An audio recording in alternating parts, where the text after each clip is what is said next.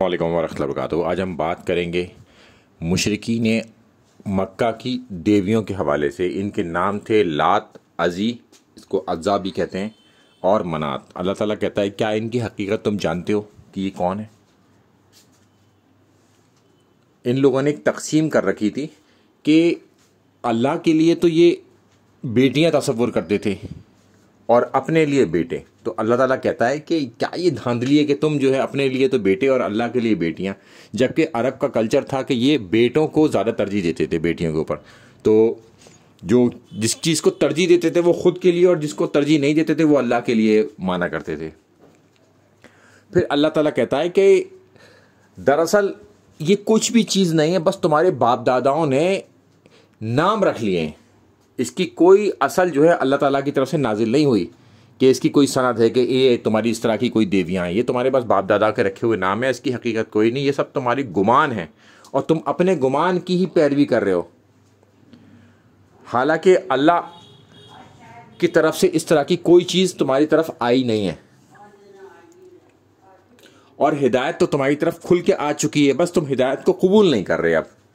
क्या इंसान जो कुछ चाहता है इसके लिए वही हक है। यानी कि ये सवालिया निशान खड़ा करा गया है। फिर अल्लाह ताला फरमाता है कि दुनिया और आखिरत का तो मालिक अल्लाह ताला है।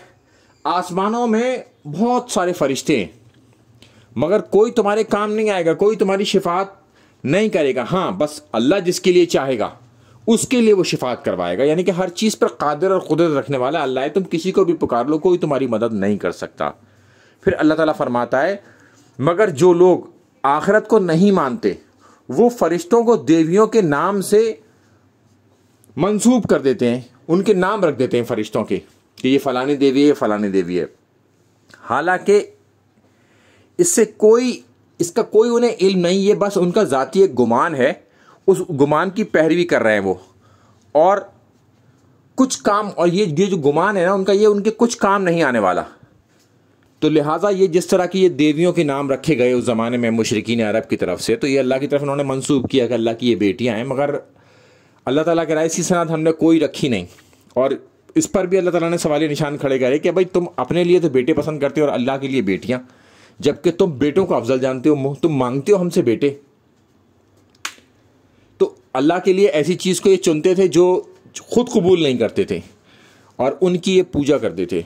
और ये समझते थे कि ये लोग हमारी शिफात करेंगे अल्लाह से, क्योंकि मुशरकिन अरब अल्लाह को तो मानते थे, मगर अल्लाह के साथ दीगर चीज़ों को मुंसलिक करते थे, इनके शिरक करते थे। अल्लाह के साथ शामिल कर दिया करते थे। अल्लाम वरहमल वर्का